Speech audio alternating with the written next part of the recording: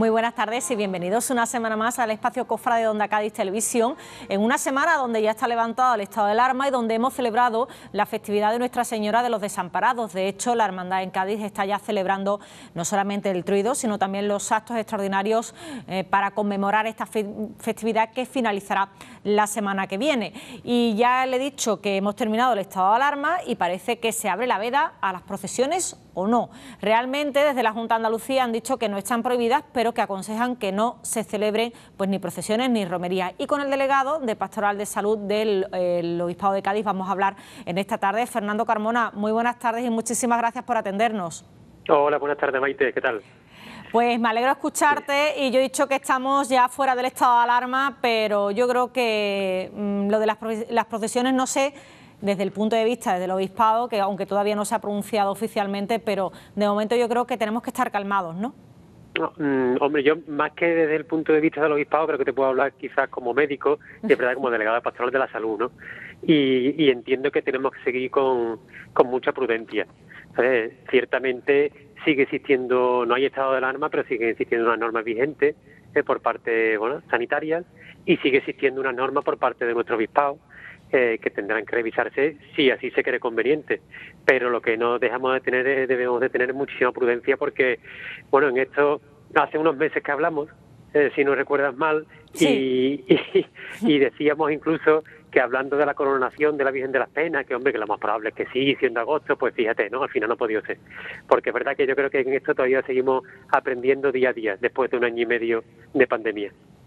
Fernando, la verdad es que es curioso cómo han ido cambiando y las situaciones, ¿no? Lo decíamos, antes hablábamos de que hace unos meses hablábamos de, bueno, en agosto quizá la Virgen de las Penas podrá salir a la calle, pero realmente la propia cofradía además en un, yo creo que en un, en un sentido de coherencia ¿no? de la situación en que nos encontramos, donde no hay una vacuna para todo el mundo, ha decidido aplazarla mínima hasta el 2022, eh, aunque realmente sí existe esa aprobación por parte de la Junta de que se celebren romerías y procesiones. De hecho, ya ha salido alguna procesión, bueno, romería en este caso a la calle, no en Cádiz, sino en la provincia de Sevilla, ¿no? Hombre, yo creo que, como bien dice, lo que es de alabar la, la, gran sensatez y sentido común que estamos teniendo como iglesia. Yo creo que a nivel general, pero nuestra diócesis especialmente, eh, existen unas normas sanitarias, pero es que nosotros como iglesia creo que estamos cumpliendo a rajatabla esas normas, incluso estamos superándolas, porque entendemos que lo primero es la salud, ¿no? Por supuesto también la salud espiritual, pero pero hay que tener una serie de tenemos que tener un poco de conciencia entre todos de que hay que tener mucho cuidado con diferentes actos. Y ahí tanto a nivel de diócesis como a nivel de iglesia en general te digo como a nivel cofrade creo que hemos sido ejemplares y lo seguimos siendo en este caso las iglesias sí abren un poco la mano, por esa manera se amplía el 60% el aforo, eh, ya puede haber un poco de más de movimiento dentro de las iglesias, pero eso no quita en ningún momento eh, que tengamos que ser prevenidos y, ser cautos, ¿no? Dentro, no solamente fuera, sino dentro de las iglesias especialmente porque sigue siendo un recinto cerrado, ¿no? Efectivamente, lo que te decía, seguimos aprendiendo año y medio después aquí en el hospital de cómo funciona este virus y cómo va y lo que pero lo que sí parece claro con lo que uno va viendo día a día es que los espacios cerrados son los, principales focos de infección y de contagio entonces hay que tener mucha precaución todavía en, esos lugares ¿no? y por eso la distancia que todavía se mantienen el lavado de manos el uso de la mascarilla es fundamental mientras que el proceso de vacunación va siguiendo Fernando, algunos eh, obispados, en este caso la Arcidiócesis de Sevilla, sí se ha pronunciado ya, eh, sí se permiten esos cultos externos, pero no con una procesión, es decir, que si ustedes quieren celebrar una misa al aire libre lo pueden hacer, trasladando la imagen de una manera a lo mejor privada. Eh, se empiezan a dar pasos, pero realmente hay una cautela, ¿no? Yo creo que nadie, a lo mejor a día de hoy, ningún obispado se atreve a dar el paso por miedo a lo que pueda suceder, ¿no? Claro. Y que no se señale. Claro, claro, y además no solamente se señale, sino es la prudencia y la responsabilidad que te comentaba antes.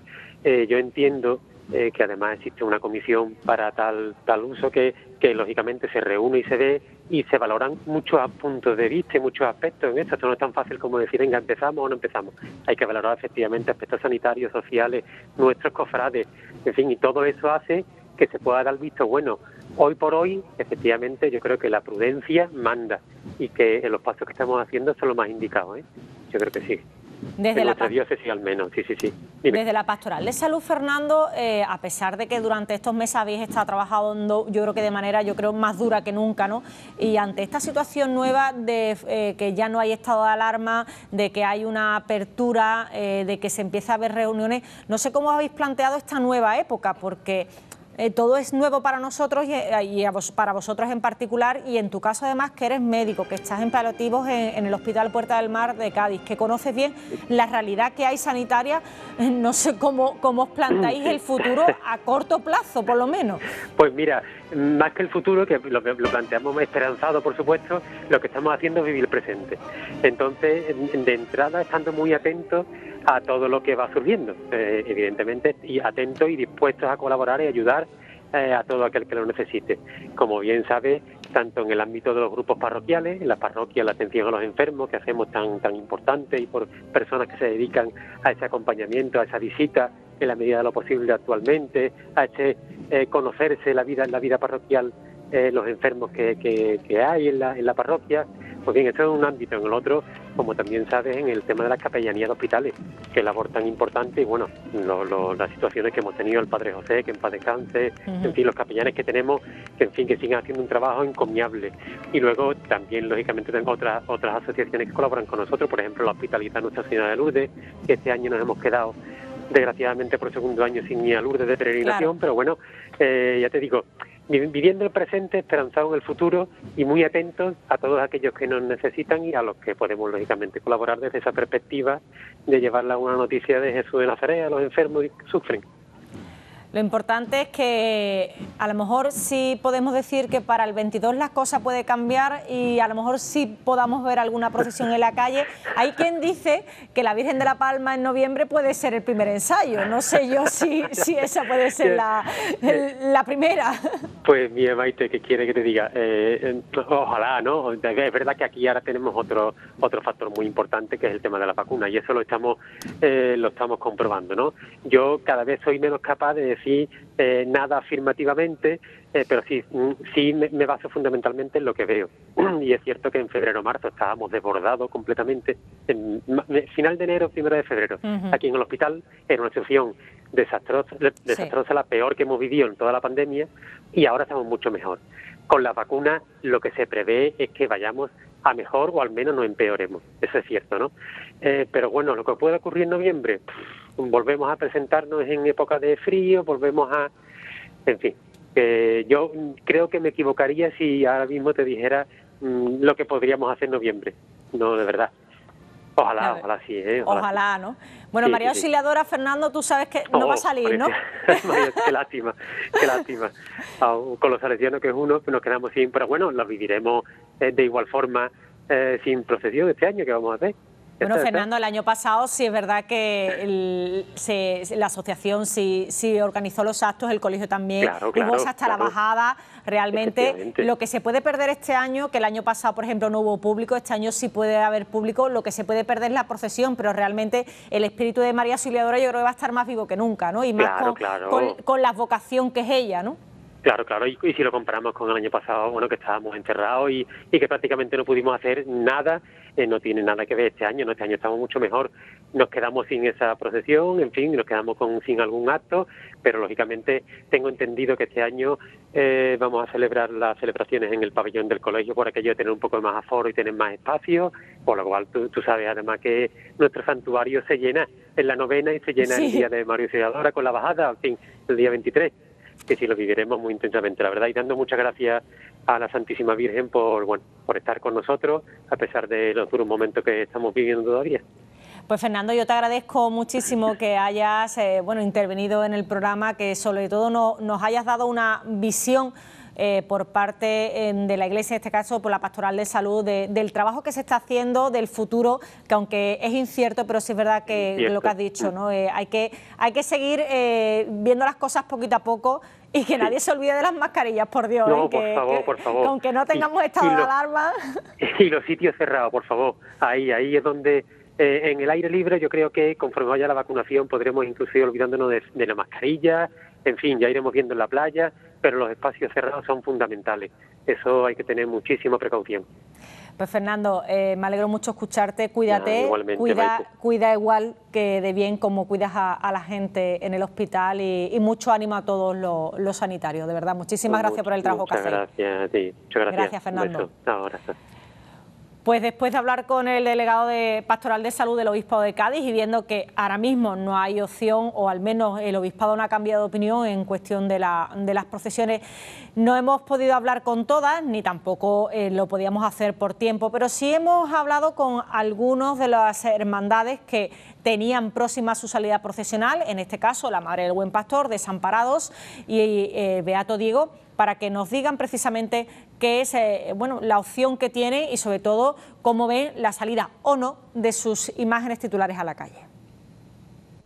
La hermandad, en la última Junta de Gobierno que celebramos, en la cual se prepararon los próximos cultos eh, que vamos a tener en mayo dedicados a Fray Diego y en junio al Santísimo, a unas sabiendas de que podía que se levantara el estado de alarma, eh, decidió preparar únicamente cultos internos eh, por varios motivos hemos pensado que no es el momento todavía de celebrar cultos externos. Primero porque eh, estamos muy cercanos al levantamiento del estado de alarma y por responsabilidad pensamos que no, que no debemos todavía organizarlo. En segundo lugar, porque a día de hoy, y creemos que todavía está vigente, hay un decreto del obispado en el cual no permite las, la salida a la, a la, calle. Y en tercer lugar, porque, por ejemplo, con Fray Diego la apuesta de esta hermandad desde, desde que llegó esta Junta de Gobierno fue que la salida de Fray Diego eh, coincidiera con la del Corpus, saliendo en el Corpus de la ciudad. Eh, de hecho fue así, el último año que salió fue en el año 2019 y, bueno, y esperemos que pronto podamos volver a ver tanto al Corpus como a Fray Diego en la calle.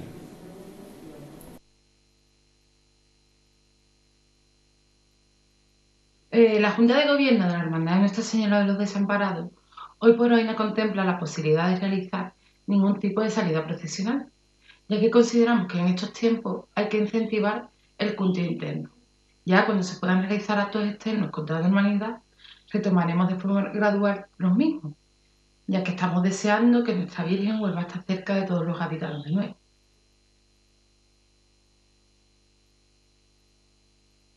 Eh, partiendo de la base de que el salir a la calle forma parte del ADN de las cofradías, considero que sí, que las hermandades, en cuanto eh, pudiéramos, deberíamos de salir a la calle. Pero mm, debemos de ser conscientes en el momento en el que estamos ahora mismo, eh, saber que una procesión tal y como las estábamos viviendo anteriormente, con pasos, los titulares en las calles, pues tiene un grado importante de folclore que es lo que atrae o puede provocar una aglomeración en la calle que en los tiempos que estamos la verdad que no son nada recomendables. Quizás las cofradías, estamos en tiempo de reinventarnos, deberíamos a lo mejor de buscar otras fórmulas para poder salir a la calle y seguir eh, manifestando nuestra fe públicamente, ¿no? como siempre hemos hecho, pero quizás sea el momento de hacer a lo mejor rosarios públicos pero sin imágenes titulares, simplemente con un sin pecado, o simplemente con una cruz parroquial, o un via crucis, o una concentración de, de devotos en una plaza, en una calle para rezar una oración o algo así. Eh, es lo que me refiero, eh, las cofradías deben de salir a la calle cuanto antes porque forma parte de nuestra forma de ser, nuestra forma de evangelizar, de, manifestar públicamente nuestra fe, pero debemos de ser conscientes de la situación en la que estamos viviendo ahora mismo y no sacar los titulares a la calle para evitar esas aglomeraciones que ahora pues no son nada recomendables. Es mi humilde opinión sobre el tema.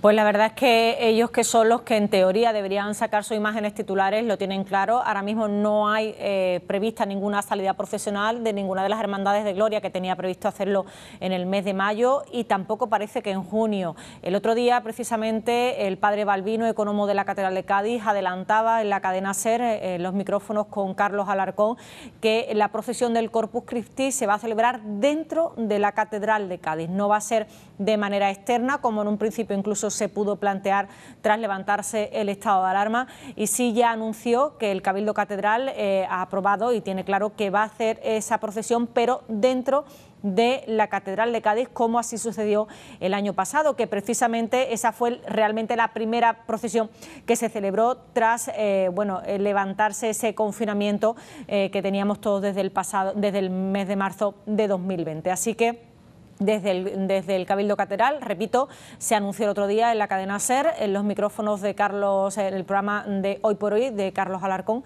eh, que no se va a hacer procesión externa del Corpus Christi, sí se va a hacer la interna, aunque todavía lo que no se ha aclarado es si se va a utilizar la custodia de Ana de Villa, como se hizo el año pasado, o una custodia que precisamente tienen en custodia en el Cabildo Catedral de los jesuitas. Es lo que queda por decidir, aunque sí es verdad que por parte del Consejo de Hermandades eh, sí se está haciendo ya ese programa de actos de Corpus que se quiere alargar durante toda la semana previa al Corpus y precisamente desde el mismo jueves, lo que era el jueves de Corpus, se quieren intensificar los actos. Así que, de todas formas, durante estos días pues les iremos informando de esos actos que se van a celebrar durante toda la semana. Ya les recuerdo que el Corpus se celebra el 6 de junio, así que ese día me imagino y espero ¿no? que esta casa esté, por supuesto, como lo hemos estado en otras ocasiones para llevarles la procesión y la festividad del Corpus Christi y el pontifical que presidirá el obispo de Cádiz. Y hablando de más noticias y hablando de procesiones, aunque la Madre del Buen Pastor tenía que haber salido este viernes a la calle, no lo ha hecho, pero sí que ha celebrado una serie de actos dentro mm, de su iglesia en el Colegio del Rebaño de María y precisamente con imágenes de, este, de, este, de estos actos especiales por parte de la hermandad, pues eh, vamos a abrir este bloque de noticias cofrades. La Hermandad del Buen Pastor ha celebrado los cultos en honor a la Virgen y este jueves ha trasladado la imagen de la pastora al interior del colegio para su veneración, un acto solemne en el que participó la Asociación Filarmónica de Conil. La Madre del Buen Pastor ha permanecido expuesta hasta el viernes, donde los niños del colegio, devotos y hermanos, la visitaron durante la jornada que debería haberse celebrado la salida procesional de la Virgen.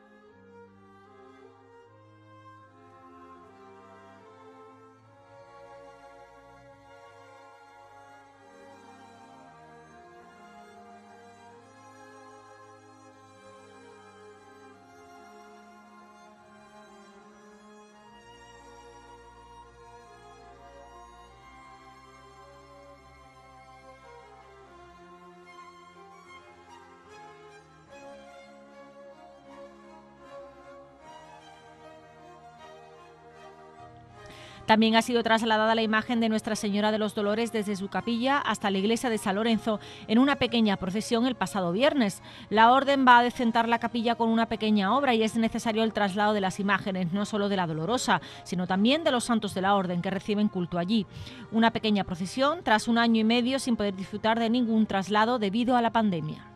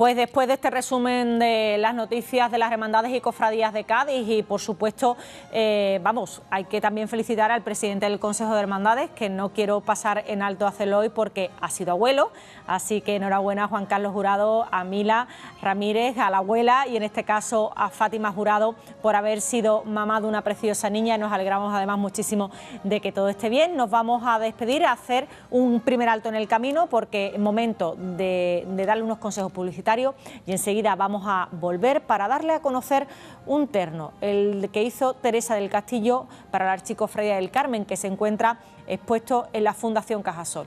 Pero enseguida volvemos, como le digo, aquí en La Levanta.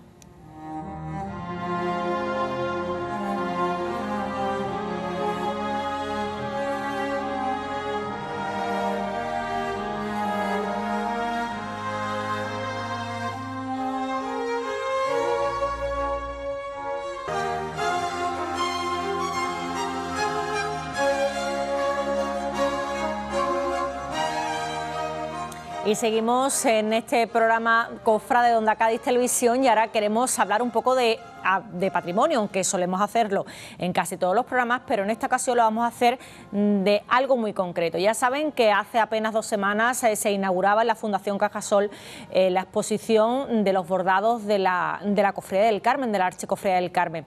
Y entre varios ternos y el por ejemplo, el manto de, salida de la Virgen, el nuevo manto que se ha realizado para la Virgen, destaca, nada más que a la entrada, además de, la, exposición, un terno que perteneció a la Virgen y que ahora mismo no se le pone por el estado en que se encuentra, que realizó Teresa del Castillo. yo creo que una de las mayores tesoros que puede tener la Archicofradía del Carmen y Cádiz en general en cuestión de patrimonio y que va a ser recuperado gracias a una aportación que va a dar la Junta Andalucía y va a ser recuperado por la empresa Restauraciones Cirta. Precisamente con uno de los encargados de este proyecto, con Pablo Pérez, estamos este domingo al habla. Pablo, encantado de hablar contigo y bienvenido a la Levantá.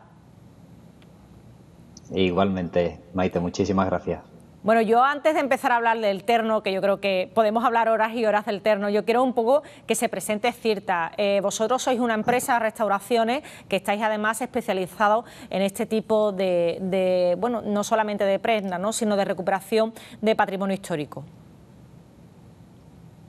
Sí, efectivamente, Cirta nace de la mano de mi compañero Pablo José Portillo y de este que habla hace ya pues cinco años y nos dedicamos a la conservación y restauración de patrimonio textil. Mm, todo, y todo, todo lo que engloba, ¿no? Pues desde encajes, tejidos, bordados, indumentaria, civil, religiosa.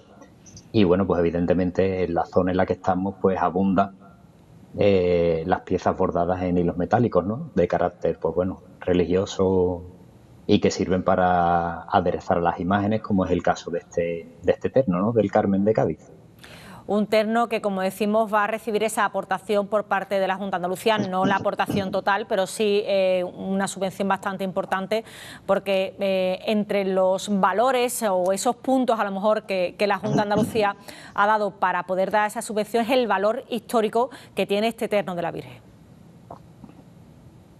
Sí, efectivamente, todo esto de las subvenciones ha ido por una serie de puntos, ¿no? Y entonces, pues claro, eh, las piezas que optaban a esta subvención pues tenían que tener una serie de valores para que, fueran merecedoras ¿no? de esta subvención.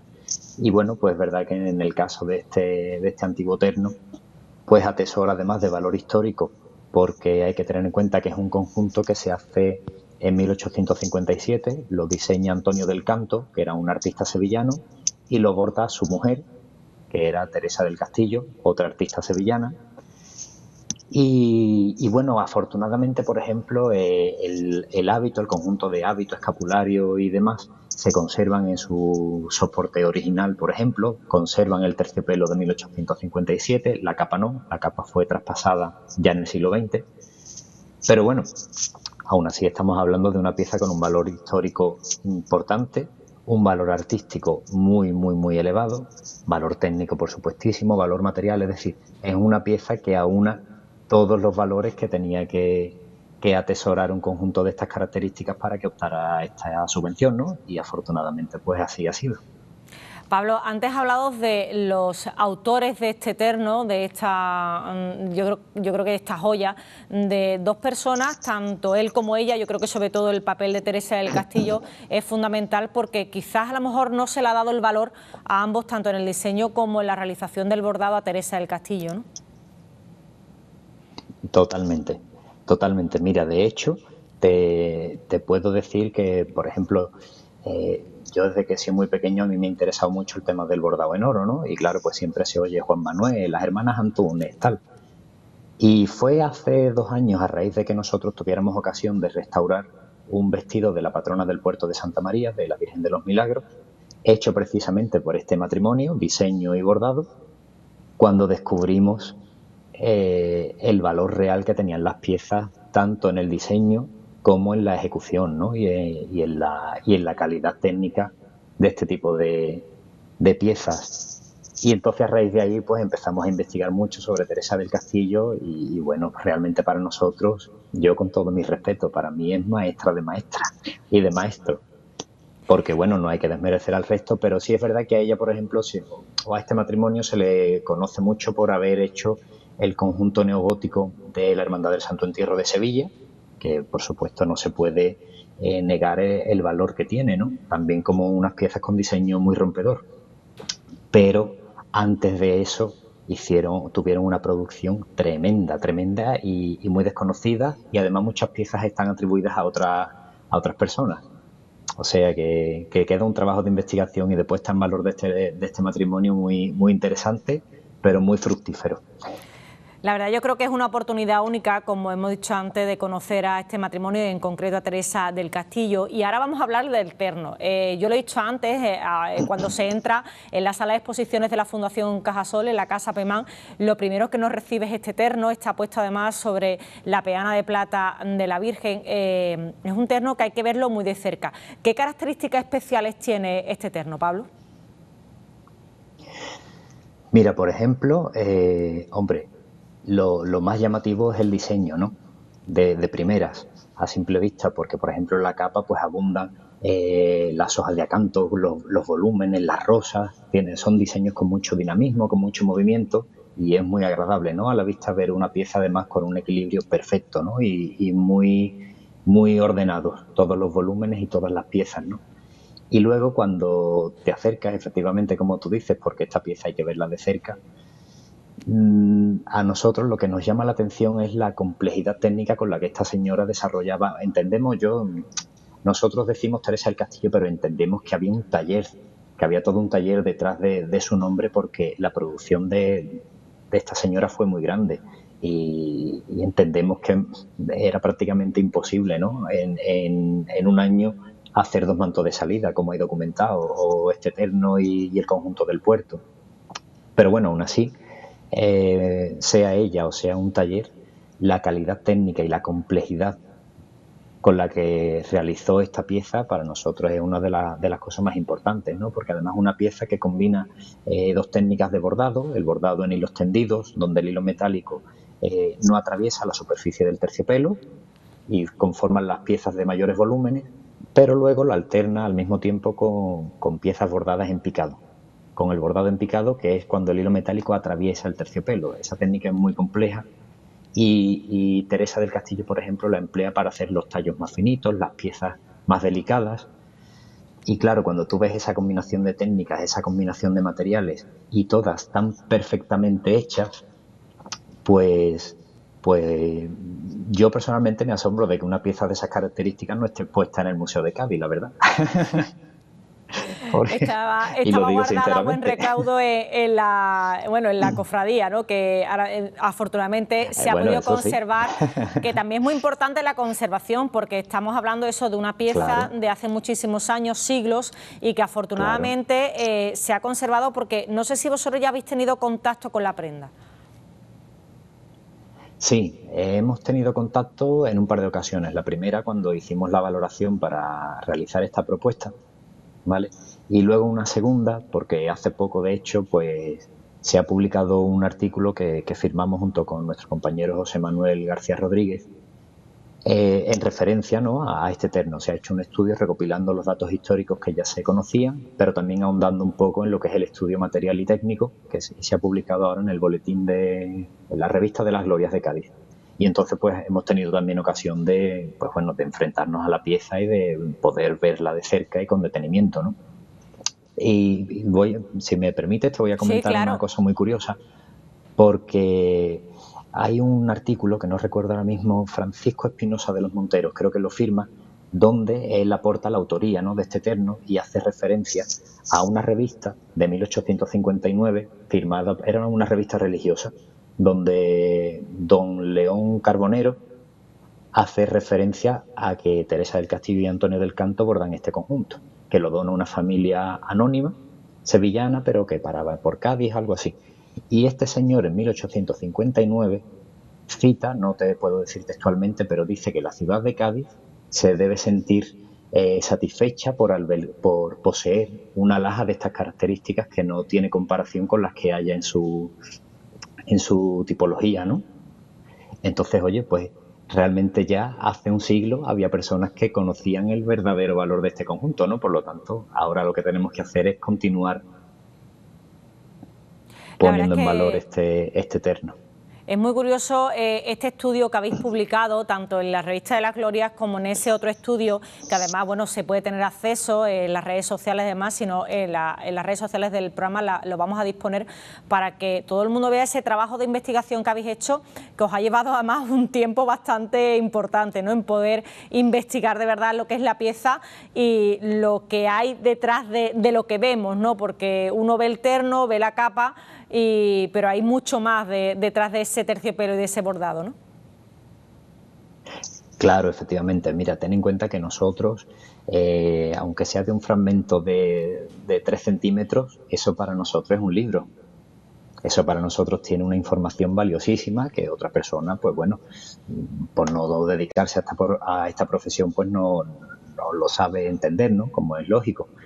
Pero claro, el tener nosotros acceso a esta pieza, el ir descubriendo todas esas particularidades y todos esos detalles, es lo que nos ha permitido conocer pues el valor tan, tan grande ¿no? que tiene este conjunto y nosotros lo que procuramos un poco es, es eso, ponerlo en valor, divulgarlo en la medida de lo posible y, oye que las personas, porque además nosotros hacemos hincapié en que esto no solo lo deben de valorar ni los cofrades del Carmen ni los cofrades de Cádiz. Es decir, esto lo tiene que valorar cualquier persona sensible con el patrimonio y con el arte, porque estamos hablando de obras de arte. Lo mismo que están en el museo expuestos los zurbaranes, pues, o, los esvotos fenicios, esta, esta pieza es merecedora de estar ahí porque es una obra de arte. Entonces, no porque tenga connotaciones religiosas, no porque pertenezca a una hermandad, tiene menos valor. todo, todo lo contrario, es un Claro, efectivamente, tiene el mismo. Y, bueno, concretamente este conjunto, ya te digo, eh, tiene pues la, virtud pues de aunar una serie de, técnicas, de estilos, de diseños, todos perfectamente ejecutados, que la convierten en una obra maestra, ¿no? Pues una obra maestra del arte del bordado en oro.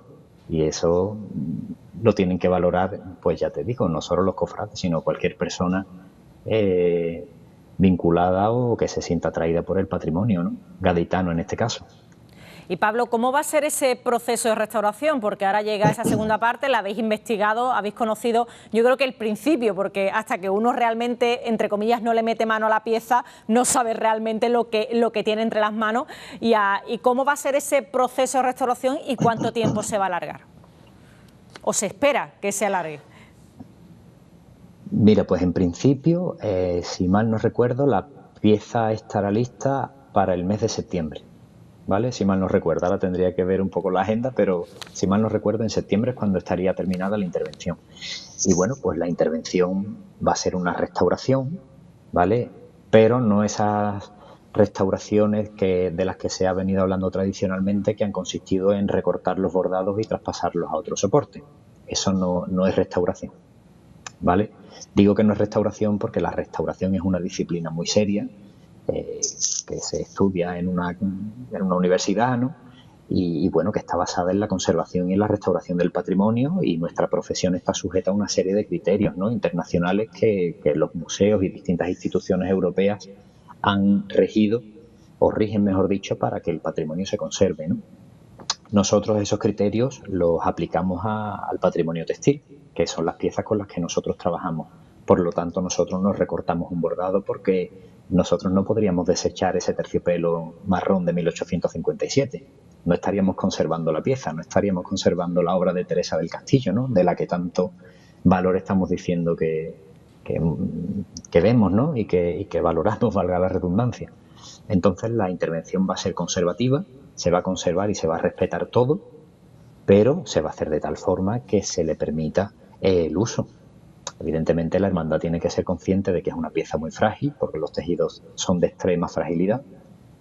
Pero bueno, si se ha venido usando hasta ahora, teniendo corte, estando arrugada, deformada y con desgarros, que realmente son los daños importantes, pues al menos frenar eso, consolidar el tejido, consolidar los bordados que estén en mal estado, pero permitir que, se sigan usando, por supuesto, ¿no? y que los gaditanos disfruten de, esta pieza que realmente es para lo que fue realizada.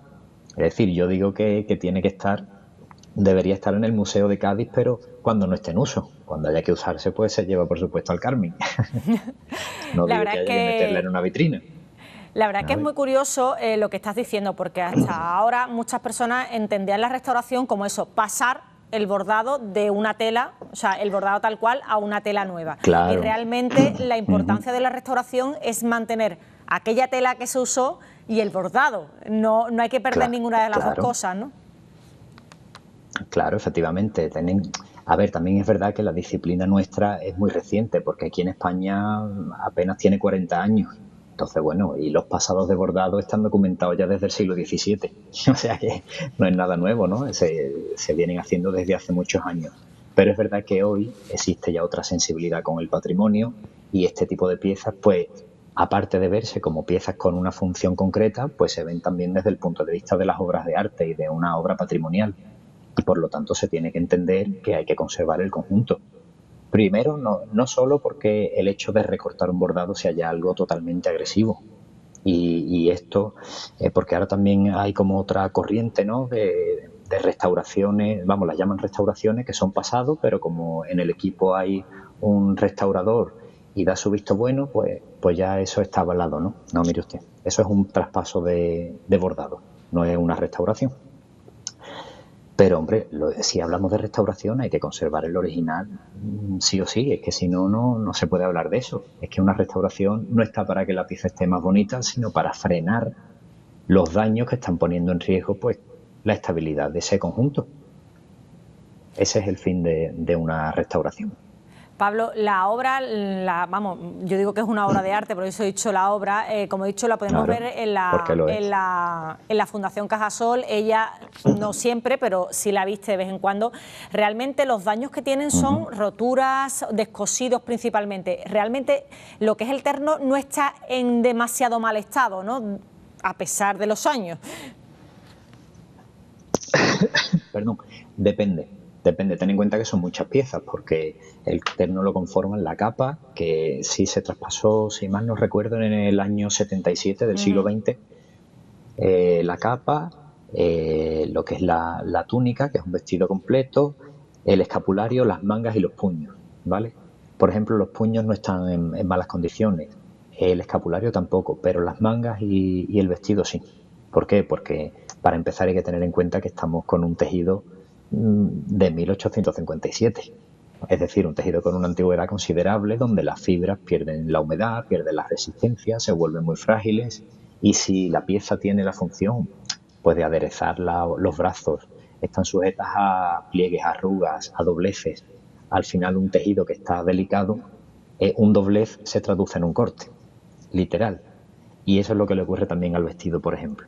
Pero bueno, dentro de eso, dentro de eso son daños que se pueden restaurar perfectamente y que permiten que, se pueda seguir haciendo un uso eh, de la pieza, ya te digo, con precaución, sabiendo lo que se tiene entre manos. La verdad es que eh, el, terno es una maravilla, tanto en el diseño como en la confección, eh, y estábamos hablando de esa figura de Teresa del Castillo, que yo creo que, realmente es que no se ha puesto en valor durante este tiempo y a pesar de que últimamente hay como una especie de, yo creo que... Mm, de manera de, buscar a esas mujeres que, formaron, que forman parte de la historia de las hermandades. Quizás Teresa del Castillo eh, siempre ha estado un poco más oculta. No sé si porque el nombre de su marido la tapaba, si porque ella vivía en una época donde las mujeres siempre estaban en ese segundo plano o porque realmente no se ha, no se ha descubierto bien qué es lo que hicieron este matrimonio. Mm, mira, yo creo que en el caso de ella precisamente, mm, si no se ha conocido más, no creo que haya sido porque su marido la haya eclipsado, porque de hecho siempre que se mencionan las obras se menciona el nombre de ambos, diseño de tal y, bordado de, tal. Eh, por ejemplo, a principios del siglo XIX en Sevilla existían otras bordadoras, ¿no? que eran Francisca Zuloaga y su hermana Rita, y ella, aparte de bordar maravillosamente, pues su nombre ha quedado reflejado ¿no? en muchos o en algunos documentos.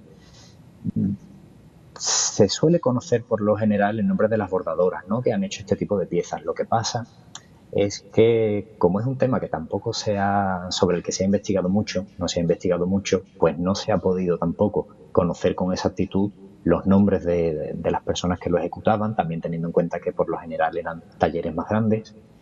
Y yo creo que también ha pasado mucho, pues, porque, hombre, todo el mundo conocemos a Juan Manuel Rodríguez Ojeda, ¿no? Y claro, ese nombre eclipsa todo, lo que hay a su alrededor. claro, y además, por ejemplo, sí, sí tienen más, más nombre las hermanas Antúnez, pero tanto Pablo como eh, mi otro compañero José Manuel tenemos un poco la teoría de que se las ha puesto más en valor por el hecho de haber sido ellas las, las maestras ¿no? de, de Juan Manuel. Uno escucha Esperanza Elena Caro también. Maravillosamente. Esperanza Elena Caro ya del siglo XX, claro, claro, sí. Pero yo creo que a, Teresa no sé si fue por el tiempo, eh, Teresa no sé si fue por el tiempo en que eh, bordó, eh, por las circunstancias quizás no se, no se haya dado a conocer esas maravillosas obras que tienen, que aquí tenemos en Cádiz estas, pero es que hay muchas más, ¿no? que, hay que, que hay que reconocerlas además. Claro, yo creo que también pasa que muchas de las piezas de este matrimonio se han perdido desgraciadamente, o se han ido traspasando a nuevos soportes y se han desvirtuado por completo. Eso hace muy difícil también que se puedan reconocer fácilmente, ¿no? Eso es otro de los problemas de los traspasos. Y claro, este matrimonio sí, se le vincula, bueno, se le vincula porque se sabe, ¿no? el terno neogótico del Santo Entierro de Sevilla, la túnica de las coronas de, espinas del Gran Poder, que es una pieza muy interesante, la túnica interesantísima del Nazareno del Valle, pero ahí se queda un poco, la ropa de la carretería, pero tiene muchísimas más prendas. Y no solo en Sevilla, hay pueblos cercanos y demás que al menos estilísticamente, mm, pues parece ¿no? que, tienen obras suyas, pero sin documentar. Entonces, claro, es muy difícil de, de atribuirle eh, esas piezas a su obra. Pues Pablo, pero vaya, que que para eso estamos, perdona que te claro, corte. Claro que sí, hay que, hay que recuperar esa obra. Nosotros además os agradecemos que, mm. que, en este caso vosotros, que sois una empresa más especializada en este tipo de restauraciones, vayáis a, a tomarla y, y, a cuidarla. Cuídamela mucho, ¿eh?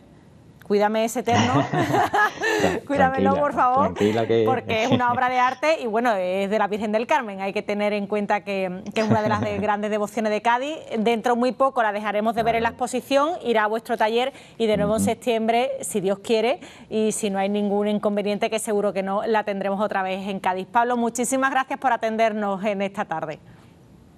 A ti por acordarte de nosotros. Muchísimas gracias. Gracias.